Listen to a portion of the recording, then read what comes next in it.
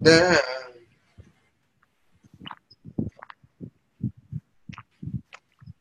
is Rosalind. Oh, welcome. Thank you for coming. Yeah. I was um, mostly interested in uh, your opinion on um, DNA resonances. Yes. Uh, obviously, it's not something that you studied, but it is in line with your with the field of your study. You looked at uh, uh, the how the X-rays are interacting with DNA and resonating with it. So now uh, uh, my interest is the same thing, just not X-ray. It would be some other frequencies, and it would be in living body doing biological biological uh, work. So that's that's the main subject of my research. I wonder if you could give any uh, insight into that. Right. There's resonations with everything, every kind of energy that comes in contact with DNA has some kind of effect on it. Um, X-rays had a greater effect on it than some other energies. So that is why it was an interest to us. Um, it became a because we could see the reaction better with X-rays, and so we are able to research it easier with the X-rays. Does that make sense to you? Yes, thank you. Yes. But you must understand that um, we use many kinds of energies to interact with DNA, but since we could not measure some of the reactions properly, we had to use that which was most evident and measurable. No, no. My question is, can you help me with uh, with the biological communication between parts of DNA? I'm looking how A, G, C, and T, how the letters of DNA, how they uh, resonate with each other using biological fields. How they resonate with one another. Uh-huh. They work together, of course. It's like a chorus. You cannot, Uh-huh. if you do not want dissonance, so you get two together that make harmony. So, therefore, as you work with these different elements, they are harmo- harmonically designed to work with one another. So, therefore, your energy will find you will find that when the AC is working to uh, is in act, interacted with, it will have a certain harmonic resonance. Yes, That's- yes, yes.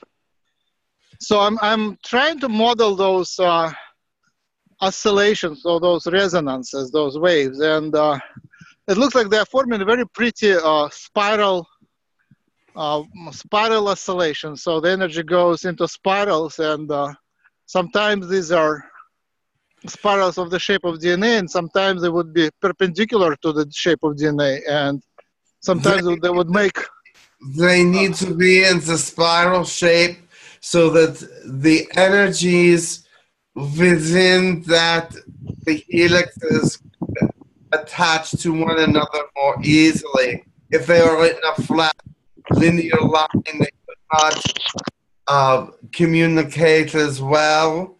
But since they are in a spiral, they can attract one another and draw energy from one side to the other and resonate more accurately than if they were in a linear setting. This is what we have discovered that they speak to one another in very specific algorithms and very specific energy types, some of which energy types we could not identify. Uh-huh that's that's my question yeah which energy types would that be Yes, there were some energy types that were undistinguishable or unnamed because we did not properly know exactly what they were. We, we had an idea they could have we could have given them names, but if they were improperly named, then they would be um, uh, refuted eventually. So it's best not to be unsure. Right. Um, the gamma, there is also gamma radiation, uh, obvious in evident in the, the DNA, uh huh. and there is um, beta, beta, what is it called? Beta. Um, Beta rays. Yes, I'm sorry. Beta rays also obvious in the the resonations, but they are in such small quantities. We wonder how they are working interactively one with another, but there is all the energy you can imagine working together there. But some are greater than others. As the X-ray showed, they have the X-ray was able to cause greater activity within the DNA than some of the other energies that were given to testing. Uh huh. Yeah, we uh we look at the DNA um, at the effects of their uh, different uh, waves on the living systems, and it looks like sound frequencies are pretty important. And uh, Yeah. sound Yeah. sound. Go ahead. No, go ahead. sound frequencies as uh, mechanical oscillations, basically real sound, and then same frequency just as electromagnetic oscillation. So uh, Yeah. in one case it would be molecules oscillating, and another case it would be uh, electromagnetic field oscillating, but molecules staying in place. Correct. So so sound frequencies. brain, and when it speaks to the brain, it speaks to the neurons. Uh huh. So it- it speaks to neuron activity and synapse Uh huh. directly.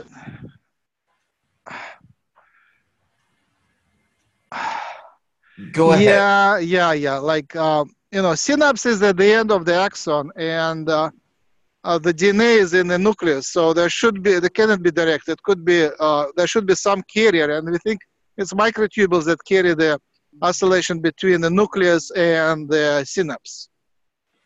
Well, yes, of course, but it's that's what it was. It's directly sent to affect the synapse. Hmm. Do you think synapse is oscillating at uh, sound frequencies? I don't think it is shown ever. No, it's never been shown that way. It's more it's more um, shown as an electrical charge. Yeah, yeah. Like there is an action potential which travels through uh, an axon and then reaches the synapse. But yeah, that's one of the questions we ask. How would electromagnetic uh, uh, wave transfer from one uh, neuron to another? There would be a synapse on the way, and uh, I don't think there is any transference of um, a wave shown through the synapse. I don't think it is ever shown. So uh, No, we think It's the the key is the neuron. Yeah, but the neurons touch each other through synapses, and that's that's Yes. you know the the transference. The, the I mean there is a break between uh, microtubules in one, microtubules in one neuron, and microtubules in another neuron. So Correct. and then uh, uh, the synapse in, is on the way. So we we wondered how would the oscillations uh, transfer and how would information be transferred. It, if it goes through chemical messages like dopamine and serotonin, it would be too slow and too sloppy. You would lose a lot of messages. So there should be some more direct transfer of information which you don't know how it works.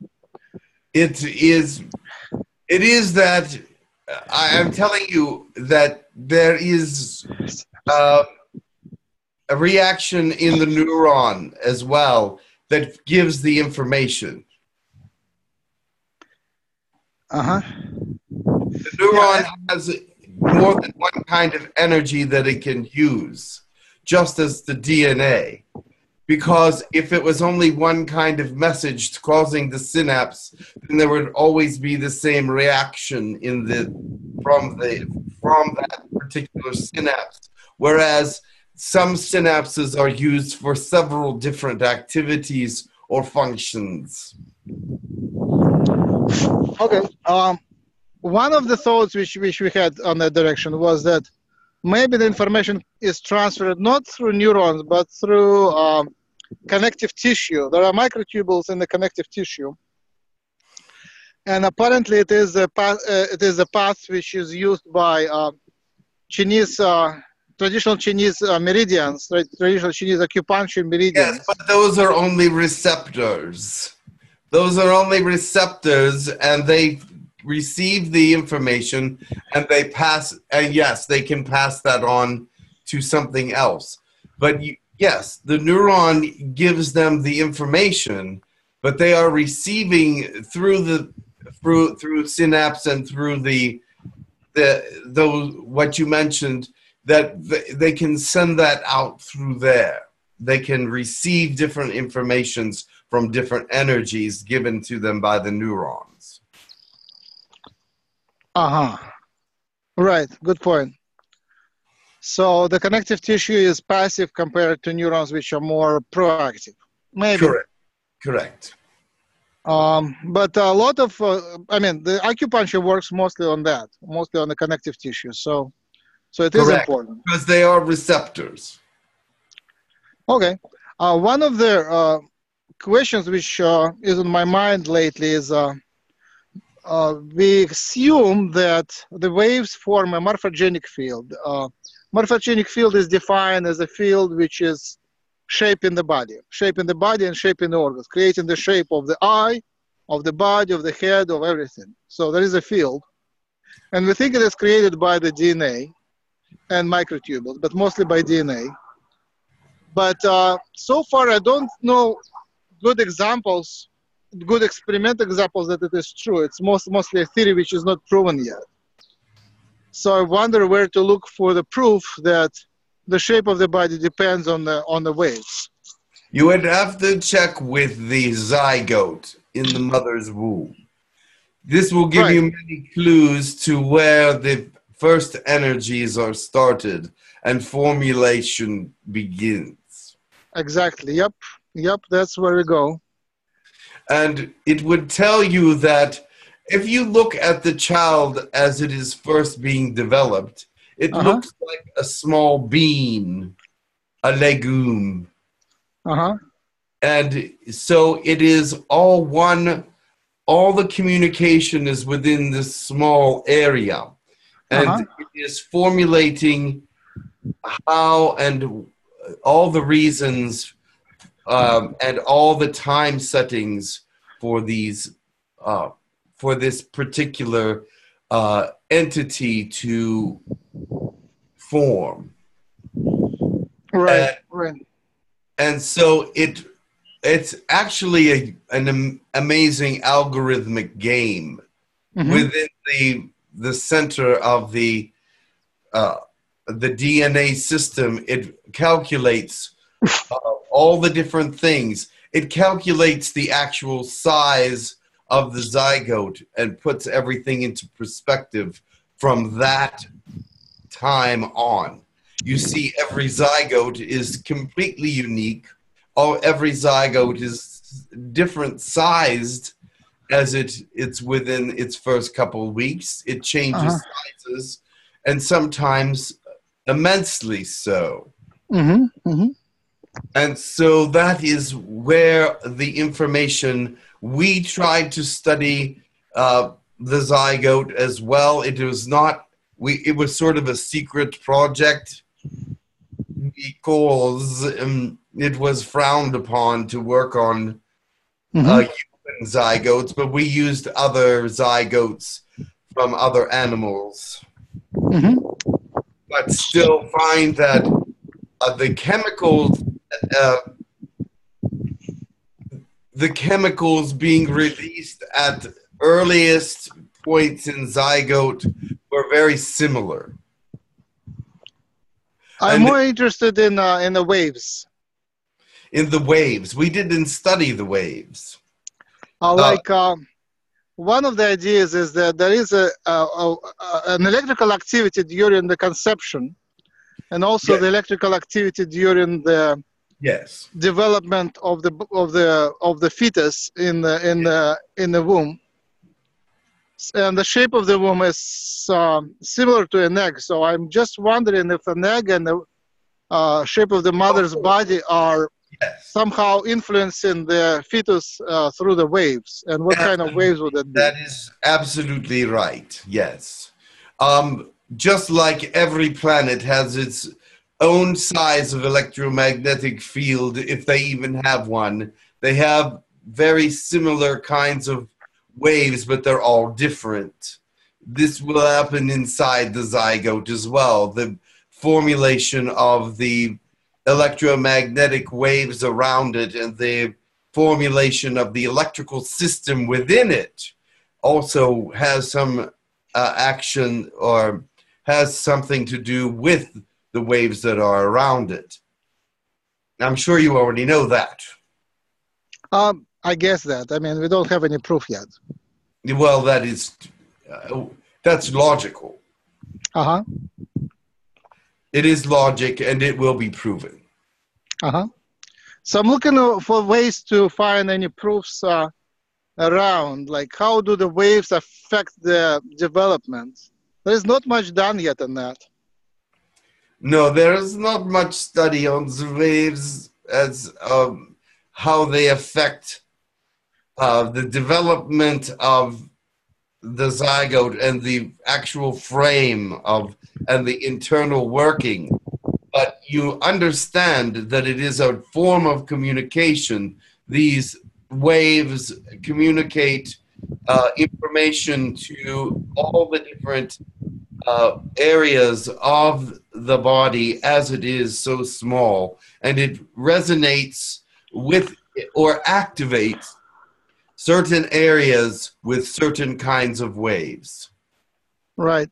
I, I I'm trying to see um, the future and how the uh, envision how the electromagnetic devices could be developed to help to change the shape of the body and to Yes. Regenerate regenerate the new organs like limbs and uh, kidney, Like- spleen, uh, liver, and um, Listen carefully.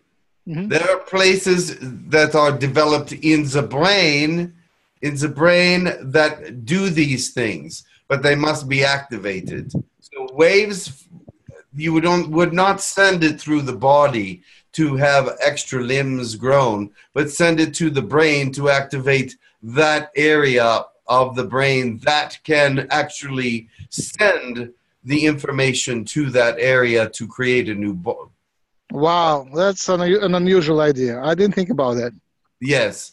What it is is this your brain, you only use about 10% right now.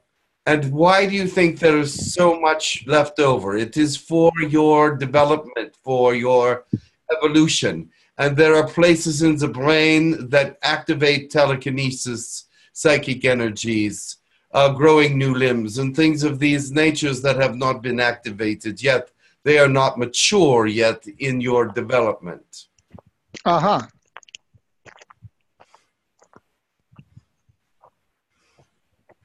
So, you So must how- understand how- the brain is the central and controller of what happens in the body. You cannot send a wave through the body and create a new limb, but you can open a place in the brain if they knew exactly where it was that could regenerate new limbs. Wow. Yeah, how do you go about it? You would have to find, first of all, find this place in the brain that needs activated. And in some cases, it would need to be, um, it would need to be sent into time a little bit because it's not mature yet. It would have to be matured by energies, but Uh-huh. it can be done. You know what? Uh, I think the theory about brain locations is uh, sort of outdated. It looks like nowadays it looks like uh, the information and the functions are distributed in the brain. They go uh, all Yes, around the brain. are. but there is one there is one area that must be activated differently than all the rest to create that particular function. So brain areas are still important in the future. They will find that the computer works the brain as a computer works like a regular computer. There are places in the brain that can have effects that other places do not. And if they are not activated, that activity will not happen. Do do do you see a way how how that can be activated? Should we? Is it through acupuncture type of work, or is it? Well, the thing is this, my friend, is that because uh, the parts of the brain that are not activated get very little energy. Uh-huh. It is you. They cannot see that they have that particular function and placement because Uh-huh. They have not activated these. They try to activate these places and they're not mature enough to be activated. So, what they need to understand is the brain has to develop. And if they can find a way to speed up the development of the brain so that you can use more of it, then they would see that activation is possible for many different things. Um, I'm a little lost. How can someone uh, uh, activate the maturation of the certain parts of the brain? Like That is- it has like- not been possible yet. like like the dogs. We have the dogs which we have the dogs which are uh, undeveloped adult wolves. So the dogs are made from wolves by uh, freezing their development. And I don't know, is there a way to unfreeze it and make a wolf out of a dog or a more developed human out of the modern human? Yes. A, You just have to find where it is located in the brain, which you have not done yet. Uh-huh. And then what would be the method? How would uh, physically or chemically, how would we induce the the maturation or development? You see, what the other thing you do not understand is there is many kinds of energies that run everything, and you must find the right energy that feeds this particular area of the brain.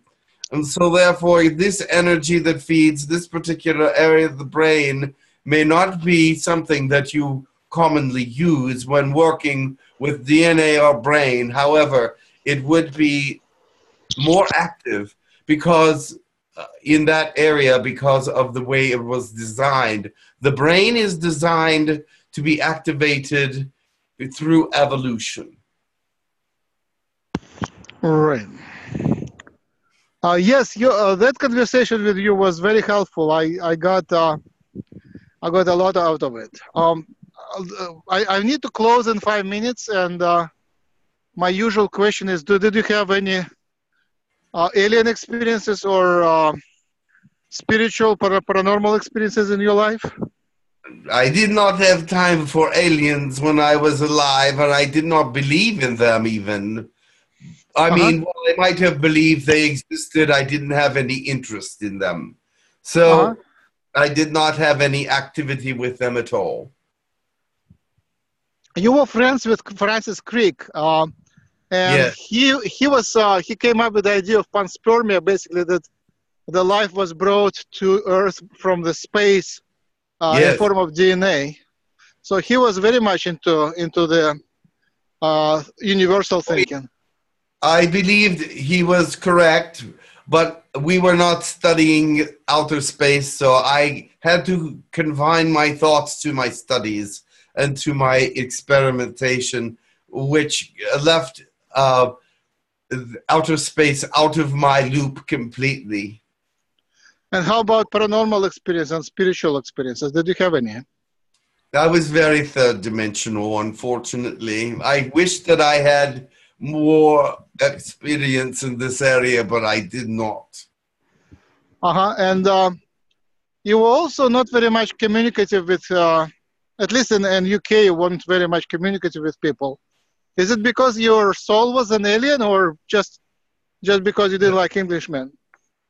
No, I was more reserved. I did I did studies. My brain was my success, not my mouth. So I kept it shut because sometimes I would get in trouble. Uh-huh. I would say I would be much too blunt with the men, and they would be very upset with me. So I learned to be a little more quiet Uh-huh. because you I didn't- were. I thought many times they were asinine on some of the directions they would take, and I would, a- and they would actually listen to me eventually. So you you you want an extraterrestrial in a human body. I don't think so. No. Uh-huh. And um, uh, the time when you were alive, how uh, how much did you understand the importance of your discovery? I was hoping that it was very important, but I didn't know how important it was until I left this place. Uh-huh.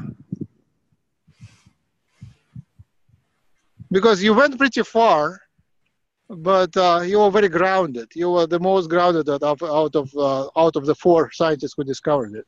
Yes, and that's why I had to be a little bit more nasty at times. Uh, I would bet you were uh, uh, uh, uh, an Earth sign or zodiac zodiac Earth sign, but um, I don't remember yet. And I don't even know what sign I was. Uh huh. All right. Uh, thank you very much. At that point, I um, I have to I have to close up and thank you very much. It was nice to discuss with you there uh, the science parts. It was very helpful. So I would invite you for sure. I would invite you more. Please bring more uh, insights into the into the question of um, of the practical applications of the waves and how to basically crack the code the the wave code the resonance code of the DNA. We're not allowed to crack it for you, but we are allowed to give you hints. And Thank I, you. I've given you some. Thank you much. This was, this was very uh, unusual and helpful. Yes, I remember them. Mhm. That yes. Very well. My good luck to you, and I'm sorry I do not speak very well, but that's all right. That's all right. Goodbye for now. Goodbye for now. Thank you.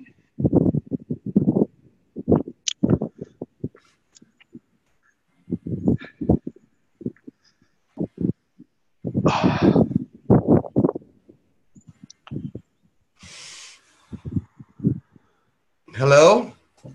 Hey, Jim. Welcome back. Thank you. Did you have a good